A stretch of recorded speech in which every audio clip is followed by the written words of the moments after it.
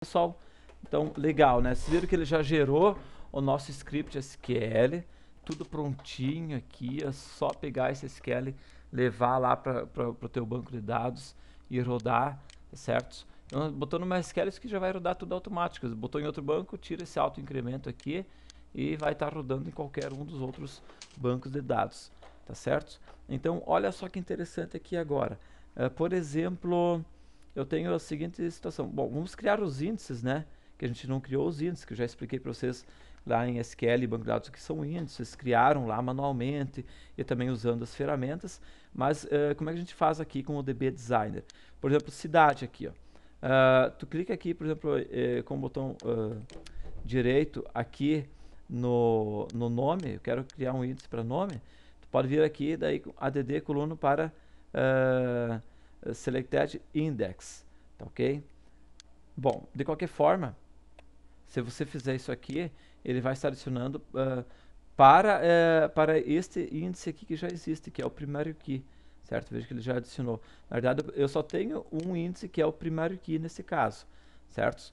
Então, se tu adicionar, ele vai, ele vai ordenar por código e depois por nome, o que não faz nenhum sentido aqui. Então, o que, que eu quero é o seguinte, veja que o índice ele não está uh, not null aqui, estão vendo, né? Então, olha só.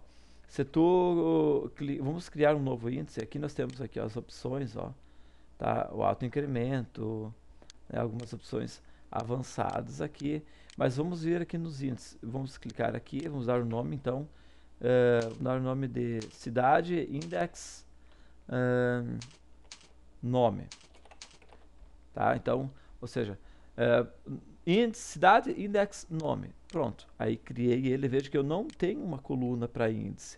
Então agora sim tu clica aqui com o botão direito, adiciona a coluna para a, o, o, índice selecionado.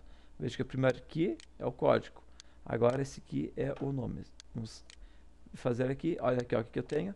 Então eu tenho o índice selecionado. Vamos fazer a mesma coisa para o bairro. Tá? Então vamos criar um novo índice aqui para bairro. Index uh, Index Nome, né? Salvamos e agora no, clicamos aqui com o botão direito, adicionamos essa coluna para esse índice. Mesma coisa vamos fazer então aqui para mídia, tá? Então dois cliques aqui na mídia. Tá, vamos inserir um novo índice aqui. Botamos o nome de mídia aqui. Mídia index nome, né? Vou botar assim nome do campo. E agora clicamos aqui, botão direito, adicionamos essa coluna para o índice. Aqui aqui, então mais um no endereço,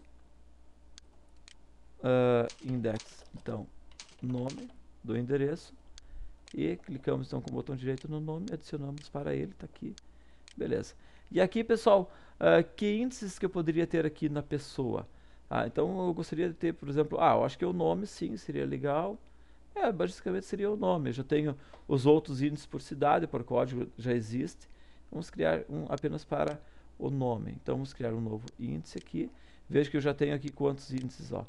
Um, dois, três, quatro. O primário, e é esse aqui pro, pro seed código, esse aqui pro end código, esse aqui pro by código, esse aqui pro index uh, aliás, para o mid código, certo? Pode vir aqui e renomear ele. Então, por exemplo, o primeiro é para o cidade, tá certo? Então, vamos dar dois cliques. Então, pessoa uh, F, uh, FK index uh, cidade. Fica uma coisa mais, mais entendível, né? Esse aqui, então, vamos dar o nome de... Esse aqui liga com o endereço. Então, index é endereço. Então, a pessoa é ficar foreign key index, né, endereço, tá? E esse aqui, então, vamos fazer também index. Esse aqui vai ser para o, o, o bairro, né? Veja que está escrito aqui by código. Tá? E esse aqui, então, é da mídia. Muito bem. E agora vamos criar o novo, que é para cidade. Então, clicamos aqui, novo, index, uh, aliás, nome, né, nome da pessoa.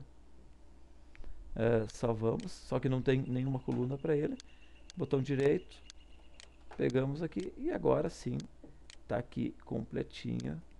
Então a nossa estrutura aqui, vejo que ele tem aqui os, os índices em amarelinho aqui, tá certo? Então tá beleza, tá criado. Agora vamos gerar o nosso script SQL, tá? Vamos dar o nome, vamos gravar por cima desse banco aqui, yes, já está pronto. Então se a gente vier aqui abrir ele, vamos abrir com um bloco de notas mesmo, vejo que, olha aqui, ó, index, endereço, end nome, ou seja, criamos o índice, index mídia, index bairro, né, index cidade, aqui ó, tudo criadinho, tudo beleza, aqui ó, index pessoa, index nome, aqui ó, beleza pessoal, tá nosso SQL aqui ó, prontinho para ser implementado lá no banco de dados. Então pessoal, isso aqui é algo, sim ó, é, é maravilhoso isso aqui, tá, pessoal? Maravilhoso mesmo. Você fazer uma modelagem, vejo que a parte dos índices, como foi fácil, a parte da, do, das, das, chaves estrangeiras, né? vejo que aqui, aqui fica fácil de, de, eu identificar o que é que eu estou fazendo. Né? Ou seja, eu fácil, quais são os tabelas estão ligados com o que, aqui está dizendo cidade da pessoa, aqui ele já cria o campo, então isso aqui evita erros assim e, e, são uma mão na roda para o administrador de banco de dados. E sem contar algumas coisas simples, por exemplo, que nem aqui, estou vendo minhas tabelas aqui, as colunas, né, relacionamentos, né, como é que são os meus relacionamentos aqui e tudo mais. É maneira assim bem simples. Tá, você pode, é, vamos supor que está fazendo um trabalho para faculdade, tu precisa exportar essa imagem disso aqui para botar lá no teu trabalho lá do Word, por exemplo. Tu vai vir aqui no menu File, uh, exportar isso aqui, olha aqui, ó. Tem o script, que é aquilo que vocês já fizeram, que é o mesmo desse daqui, ó, certo? É, mas se quer exportar imagem, tu pode vir aqui em export, que é ó, uh, uh, exportar esse modelo como uma imagem. E aí vamos dar o nome aqui de qualquer, sei lá, é, sei lá, é, modelo ER, por exemplo, a imagem, né? Então, beleza, tá salvo já. Isso quer dizer que se a gente ir lá no, aqui, aqui no nosso diretório, já aparece aqui o modelo ER, aqui a imagem dele, olha aqui ó, beleza, tu pode estar vindo aqui, aqui ó, pode pegar isso daqui, você vai poder, uh, então, usar isso aqui lá para tua tabela, lá copiar isso aqui lá para o Word, ou seja, é uma, é uma figura, né, é uma imagem que você poderá uh, estar inserindo no teu projeto. Tá certo? Então, se tu pegar aqui o, o nosso SQL aqui. Opa, onde é que eu estou aqui? Deixa eu, deixa eu sair disso daqui. Tá? Se tu vier aqui, tu pode estar inserindo uh, essa imagem então aqui dentro do teu projeto. Bastando então, menu inserir, né, imagem uh, do arquivo e selecionar aqui do teu diretório aqui, que é o diretório onde tu salvou ele, né, pegar ele aqui e inserir dentro do teu projeto, certo? Opa, o que, que eu fiz aqui, gente? O que, que eu fiz aqui? Deixa eu voltar aqui aonde eu estava antes. Ah, tá aqui ele. Beleza, olha só, tá aqui ele, pessoal. Então, olha aqui, ó. Tu pode estar inserindo ele dentro do teu projeto tranquilamente, perfeitamente. Olha só, perfeito, tá aqui. Então, o teu o, o teu camarada aqui dentro do teu, sei lá, do teu trabalho, do teu artigo, tua monografia, enfim, tá certo? Normalmente, eh, conforme o tamanho da tua modelagem, claro, tu vai ter que colocar como anexos, né, dependendo do tamanho, porque é meio complicado colocar isso aqui numa página inteira, tá ok? Dependendo do tamanho do seu arquivo. Então, beleza, pessoal? Próxima de aula a gente vai dar continuidade. Um abraço, até mais, tchau.